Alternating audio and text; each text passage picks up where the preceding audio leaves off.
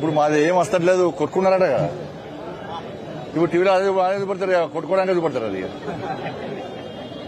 అంటే బీఆర్ఎస్ వాళ్ళు కాంగ్రెస్ వాళ్ళు ఇష్యూ డైవర్ట్ చేయడానికి. ఇది కొత్త డ్రామా.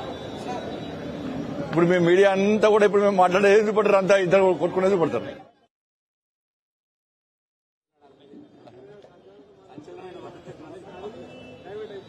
ఇక మీకు అదే సంచలనం ఇవ్వాలి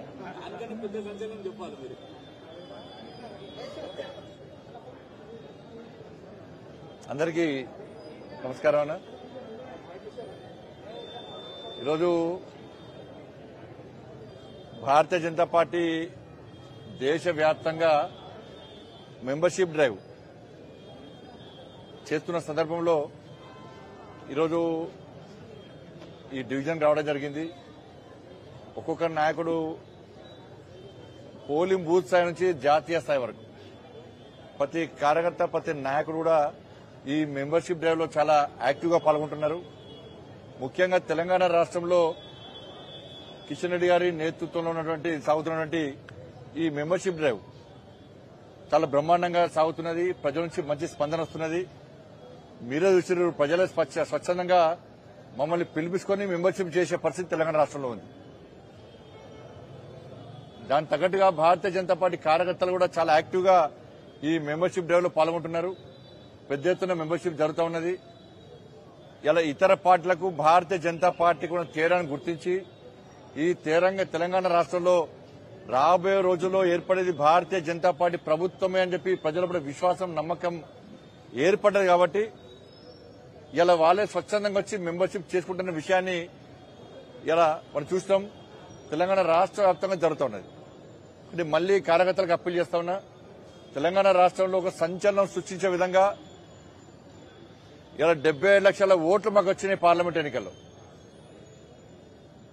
దాన్ని దృష్టిలో పెట్టుకొని ప్రతి ఒక్కరిని మెంబర్షిప్ చేయాలని చెప్పి ఒక టార్గెట్ చేసుకొని మేము ఇవాళ మెంబర్షిప్ చేస్తున్నాం కార్యకర్తలందరూ కూడా నాయకులందరూ కూడా పూర్తి సమయాన్ని కేటాయించి ఈ మెంబర్షిప్ డ్రైవ్ను విజయవంతం చేయాల్సిందిగా అందరికీ అప్పీల్ చేస్తున్నాను చాలా మంది కార్యకర్తలు నాయకులందరూ కూడా కష్టపడి పనిచేస్తున్నారు. అందరూ కూడా ధన్యవాదాలు.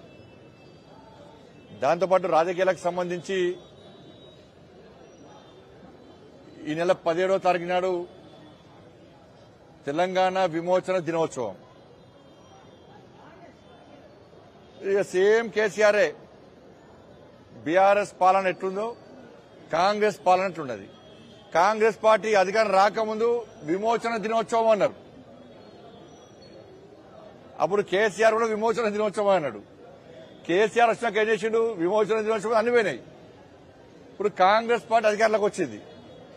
కాంగ్రెస్ పార్టీ అధికారంలోకి వచ్చాక మళ్ళీ ఏమంటున్నారు? ప్రజాపాలన దినోత్సవం అనమాట అంటే ఇన్ని రోజులు ప్రజాపాలన కాకుండా ఏం పాలన చేసింది మరి? ఇన్ని రోజులు మీరు చేసిన పాలన ఏంది? ప్రజాపాలన దినోత్సవం పెట్టడానికి కారణం ఏంటి ఇన్ని రోజులు మీరు పాలించింది ప్రజాపాలన కాదా? ప్రజాపాలన కాదనే ప్రజలు ఆలోచిస్తున్నారు. అందుకే ప్రజల ఆలోచన దృష్టిలో ఉంచుకునే ప్రజలు కాంగ్రెస్ పార్టీకి వ్యతిరేకంగా ఉన్న విషయాన్ని గుర్తించే ఇప్పటి నుంచి ప్రజాపాలన దినోత్సవంగా మీరు ప్రకటించుకున్నారు వాస్తవం. ఇవాళ రైతులకు రుణమాఫీ ఇస్తా అని చెప్పి రైతు భరోసా ఇస్తా అని చెప్పి బోనస్ ఇస్తా అని చెప్పి ఇవ్వకుండా రుణమాఫీ సరిగా వేయకుండా రైతులను నడ్డి విరిచే విధంగా రైతులు నట్టెట్లా ముంచే విధంగా చేయడమే ప్రజాపాలన. ఉద్యోగాలు నోటిఫికేషన్ ఇచ్చి నిరుద్యోగులకు ఉద్యోగ ఉపాధి అవకాశం కల్పిస్తా అని చెప్పి మోసం చేయడమే ప్రజాపాలన. ఉద్యోగులకు ఐదు డిఎల్ ఇస్తామన్నారు పిఆర్సీ ప్రకటిస్తామన్నారు. ప్రమోషన్లు ఇస్తామన్నారు. అది ఇయ్యలే. ఇట్లా మోసం చేయడమేమి ప్రజాపాలన. ఇవాళ ఆరు గ్యారంటీలు ఇస్తా అని చెప్పి మోసం చేసి పట్టించుకోకుండా ప్రజల దృష్టి మళ్ళించడానికి మీ నక్క చిత్తుల వేషాలు వేయడమే ప్రజాపాలన. అంతెందుకనగా కుక్కలు కడుతున్నాయి. రోడ్డు మీద కుక్కలు పసిపిల్లను చంపుతున్నాయి. పెద్దోళ్ళని కడుతున్నాయి ఇంకా కుక్కలు కూడా కంట్రోల్ చేయలేని పాలన మీ ప్రజాపాలన చెప్పండి. ఏంది ప్రజాపాలన అంటే? ప్రజల దృష్టి మళ్ళించడమే ఆరు గ్యారంటీ విషయంలో ప్రజల దృష్టి మళ్ళించడమే మీ ప్రజాపాలన. దాంతో హైడ్రామా హైడ్రా పేరుతో హైడ్రామా హైడ్రా పేరుతో హైడ్రామా సాక్షాత్తు రాష్ట్ర ముఖ్యమంత్రి గారే అంటున్నారు. మీరు కూల్చుకుంటారా? మమ్మల్ని కూల్చేయమంటారా ముఖ్యమంత్రి స్థాయిలో మాట్లాడాల్సిన మాటలు కావు ఇవి. ఎందుకు కూల్చుతారు? ఎందుకు కూల్చుకోవాలి? మేము హైడ్రాకు వ్యతిరేకం కాదు. ప్రభుత్వ భూములను కబ్జా చేయడము చెరువులను కబ్జా చేయడమే వ్యతిరేకం దాన్ని. కానీ పర్మిషన్ ఇచ్చిన వాళ్ళ మీద ఒకటే అన్న ఇల్లు కట్టుకునే ముందు జాగా కొనుక్కునే ముందు డాక్యుమెంట్ చూస్తాం. ఉన్నాయి. లింక్ డాక్యుమెంట్ చూస్తాం. ఉన్నాయి. గ్రామ పంచాయతీ కార్పొరేషన్ మున్సిపల్ పర్మిషన్ ఇచ్చారు తీసుకున్నారు. హౌస్ నెంబర్ ఉన్నది ట్యాప్ నెంబర్ ఉన్నది కరెంటు మీటర్ నెంబర్ ఉన్నది దానికి బ్యాంకు లోన్ కూడా ఇచ్చింది. ఇవన్నీ పేపర్లు ఉన్నాయి. ఇవన్నీ ఇచ్చడం తప్పు కాదు. అక్రమంగా కబ్జా చేసుకోవడం తప్పు కాదు. అభువం శుభం తెలియక పేదోళ్ళు ఇల్లు కొనుక్కుంటే జాగాలు కొనుక్కుంటే తప్పు. పేదోళ్ళు కిరాయికి ఉంటే కూడా తప్పే.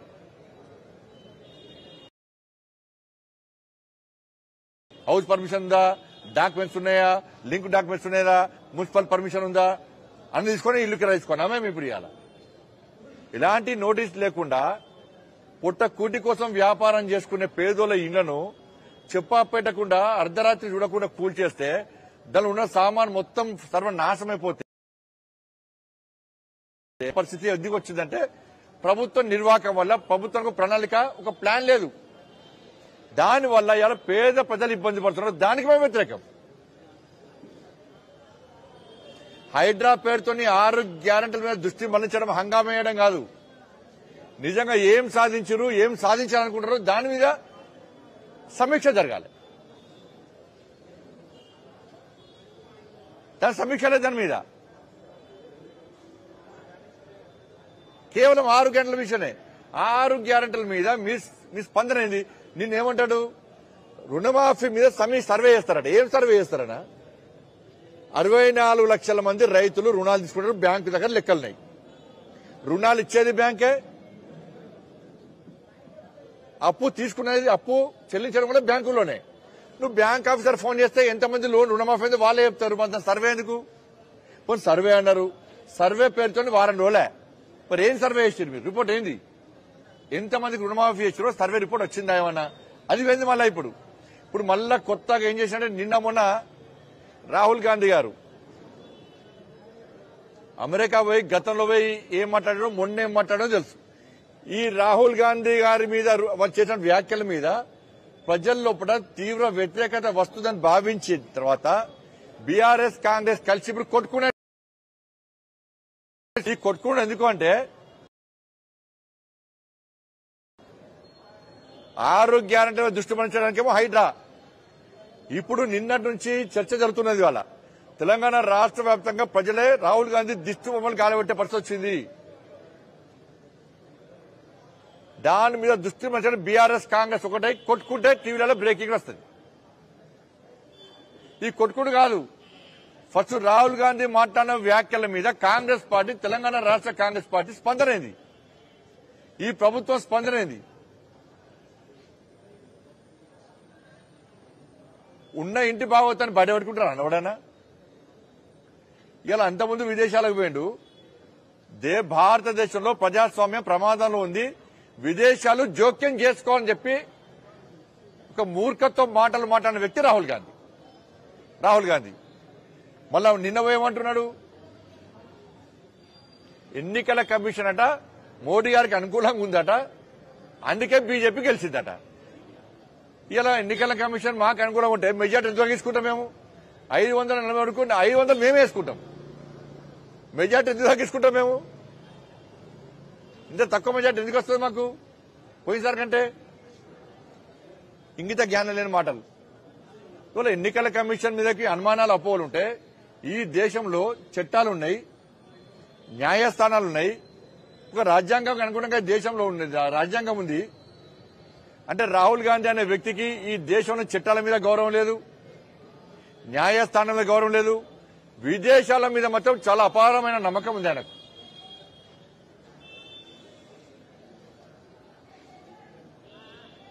ఇవాళ సర్దార్జీలు సిక్కు సమాజం తలపాగా పెట్టుకునేటువంటి స్వేచ్ఛ లేట కడం పెట్టుకునే స్వేచ్ఛ లేదట మీ నాయనమ్మనే చిక్కుల సిక్కులను ఊచకోత కోసిన విషయాన్ని రాహుల్ గాంధీ అనే వ్యక్తి మర్చిపోయింటున్నాడు చిక్కులను జలియన్ వాలాబాగ్ తర్వాత చిక్కులను ఊతకోత కోసింది ఎవరు?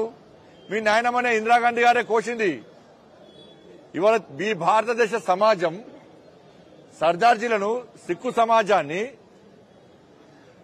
ఒక సర్దార్ భగత్ సింగ్గా ఛత్రపతి శివాజీ మహారాజుగా ధర్మ రక్షకుడుగా ఈ భారతదేశ సమాజం ఇలా భావిస్తారు ఇవాళ. ఆ గౌరవం ఇక తెల్ల ఈ దేశంలో ఉంది. సిక్కుల గురించి సర్దార్జీల యొక్క ఆత్మ గౌరవం గురించి వాళ్ళ మనోభావం నుంచి మాట్లాడే అర్హత కాంగ్రెస్ పార్టీ లేదు రాహుల్ గాంధీ లేరు. మీ కుటుంబమే ఉచ్చకొత్త వచ్చింది ఇవాళ.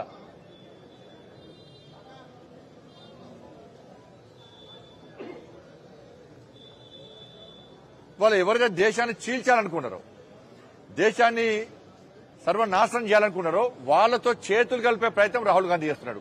ఇవాళ మీరు చూడండి మాకు ప్రత్యేక దేశం కావాలని చెప్పి మాకు ప్రత్యేక దేశం కావాలని చెప్పి ఈ దేశంలో విధ్వంసం సృష్టించినటువంటి దేశద్రోహ టెర్రరిస్ట్ పార్టీ టెర్రరిస్టు సంస్థలన్నీ కూడా రాహుల్ గాంధీని సమర్థిస్తున్నాయి.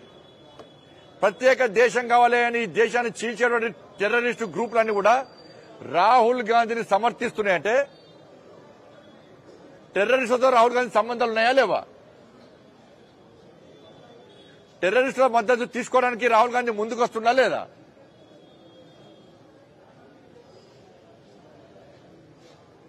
ఇంత ద్రోహమా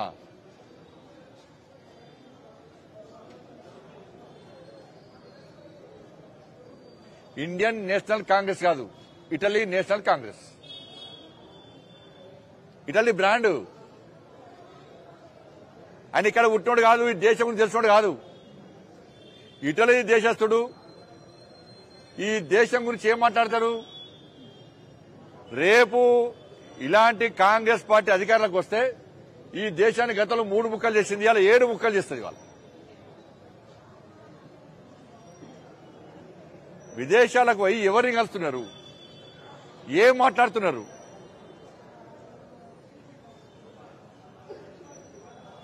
మరి ఈ విషయంలో రిజర్వేషన్లను మేము వ్యతిరేకిస్తామని చెప్పి కాంగ్రెస్ పార్టీ బంధనం చేసింది.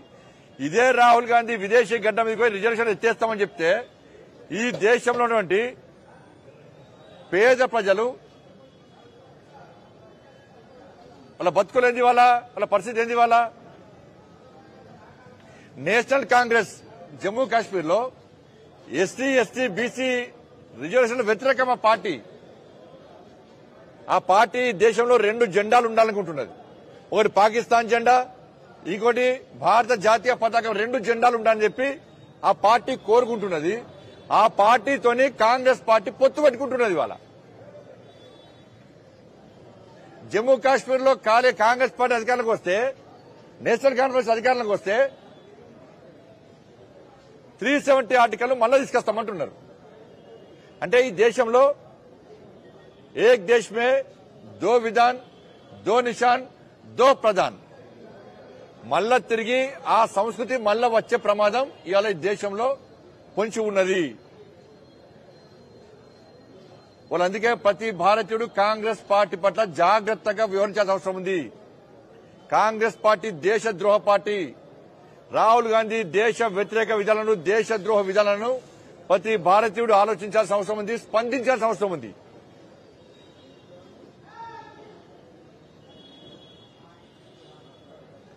కాబట్టి భారతీయ జనతా పార్టీ పూర్తిగా ఈ కాంగ్రెస్ పార్టీ రాహుల్ గాంధీ మాట్లాడే రిజర్వేషన్ వ్యతిరేక వ్యాఖ్యలు దేశ ద్రోహ వ్యాఖ్యలు టెర్రరిస్టులకు ఊత ఇచ్చే విధంగా చేసిన వ్యాఖ్యలను మేము పూర్తిగా ఖండిస్తున్నాం. దీని కాంగ్రెస్ పార్టీ సమాధానం చెప్పాలి. దేశాన్ని విడిచిపెట్టి వెంటనే రాహుల్ గాంధీ ఇటలీ పోవాలి. ఆయనకు నష్టం పాకిస్తాన్ పోవచ్చు బంగ్లాదేశ్ పోవచ్చు. ఏ టెర్రరిస్ట్ సంస్థ ఆయనకు చాలా దగ్గరనో ఎవరు ఆయనకు సపోర్ట్ చేస్తారో ఆ సంస్థ కూడా పోవచ్చు ఇబ్బంది లేదు. ఇది మంచి పద్ధతి కాని చెప్పి భారతీయ జనతా పార్టీ హెచ్చరిస్తున్నారు ఏం స్వరాలు లేవన్నా? మాది ఒకటే స్వరం. హైడ్రాకు మేము వ్యతిరేకం కాదు. పెద్దోని కొట్టండి ఊకుంటాం మేము. కానీ అభం శుభం తెలియని అమాయక ప్రజల ఇల్లు ఊడుస్తా అంటే వాళ్ళని ఇబ్బంది పెడతా అంటే దానికి మేము వ్యతిరేకం. ఎవరు పర్మిషన్ ఇచ్చారు ఎవరు రీసెంట్ చేశారు ఎవరు బ్యాంక్ లోన్ ఇచ్చారు వాళ్ళ మీద ఫస్ట్ చర్యలు తీసుకోండి.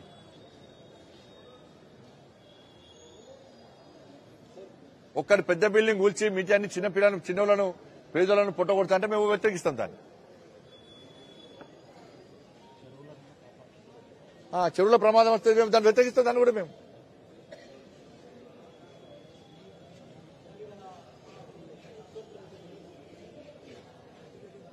అదే చెప్పాను నేను.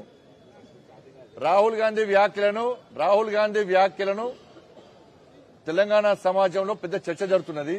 రాహుల్ గాంధీ రిజర్వేషన్ వ్యతిరేకంగా మాట్లాడము దేశద్రోహ వ్యతిరేకంగా మాట్లాడడం వలన ప్రజల్లో కూడా చర్చ జరుగుతుంది. తెలంగాణ రాష్ట్ర వ్యాప్తంగా దృష్టి వల్ల నలగబెడుతున్నారు ఆ దృష్టి మలచడానికి బీఆర్ఎస్ కాంగ్రెస్ పార్టీ పార్టీ రెండు కలిసి ఆడుతున్న నాటకాలు ఇవి.